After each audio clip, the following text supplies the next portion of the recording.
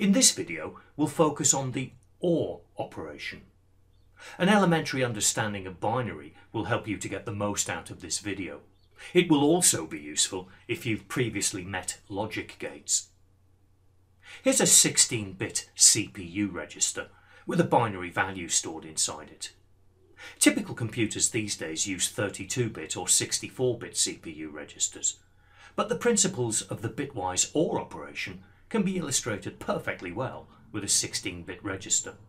16-bit registers were more typical in the 1970s.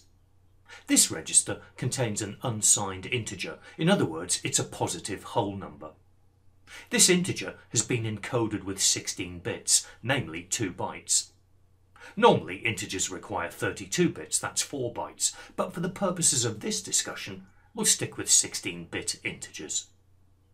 Looking at the place values you can see that this is the number 170 in denary. Here's another 16-bit unsigned integer. This is 141 in denary. When the OR operator is applied, corresponding pairs of bits are compared. If one or the other of a pair is a 1, the output is 1. If both bits of a pair are 1, this also produces an output of 1. Looking at the place values of the result, you can see that this is 175 in denary. 170 or 141 is 175. Let's see this in visual VisualBasic.net. It's the simplest of user interfaces, just a form with a single button, and here's the code for the button. Three variables are declared, x, y and z. 170 is assigned to x, and 141 is assigned to y. To calculate z, we OR x and y together, and the result is output using a message box. Notice that the OR operator in VB.net is simply the word OR.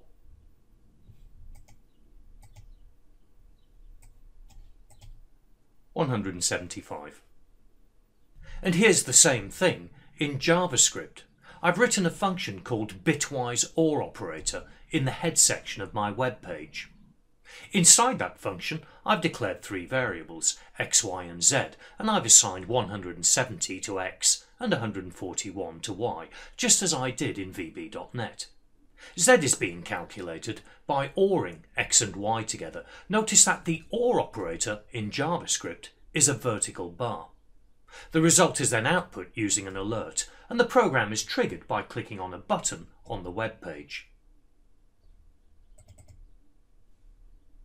Run the program, same result. And here's the equivalent code in Python. Notice that Python also uses the vertical bar as the OR operator. Same result. The OR operator is particularly useful when it comes to manipulating bit flags with bit masks. Consider for example the central heating system in a house with eight rooms. This system was introduced in the previous video about the AND operator. A bit mask can be applied using the AND operator to check if specific heaters are on and to turn them off if necessary. This time a bit mask is going to be used to turn the kitchen and the dining room heaters on, leaving the other rooms as they are. The bit mask is applied using the OR operator. Notice that the bit mask contains all zeros, except for ones at the kitchen and dining room positions. When the OR mask is applied, the resulting set of heaters that are on now include the kitchen and the dining room. And this result can be used to modify the original bit flags. In this example, we want to turn all of the heaters on at once. A bit mask containing a full set of ones can be applied with the OR operation to achieve this.